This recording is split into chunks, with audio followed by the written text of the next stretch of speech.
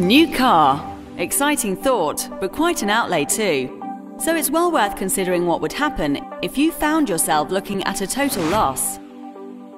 Cars depreciate as they age, they always have, and your insurer will probably only pay the current market value, leaving you seriously out of pocket.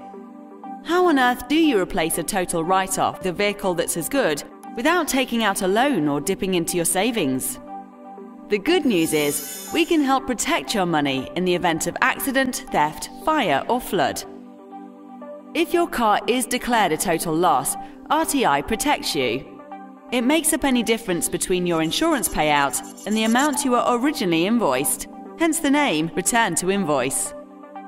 Can you transfer a live policy to a new car?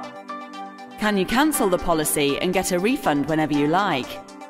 Can we explain the claims process? Can we tell you about benefits, exclusions, terms, and conditions? The answer is always yes, but the main thing to remember is this with RTI, a total loss need not be a total disaster.